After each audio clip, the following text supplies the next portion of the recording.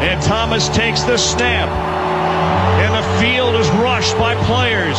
And the fans want to come out but won't be able to. But they'll celebrate in the stands as the team heads down to the end zone. And fans everywhere, 114 years they've waited.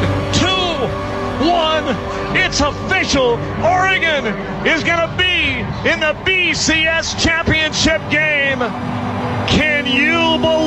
The magical season this has become and it's not over? And somewhere down in that humanity, a soaking wet Chip Kelly is talking to the media about his team and what they have accomplished. Unbelievable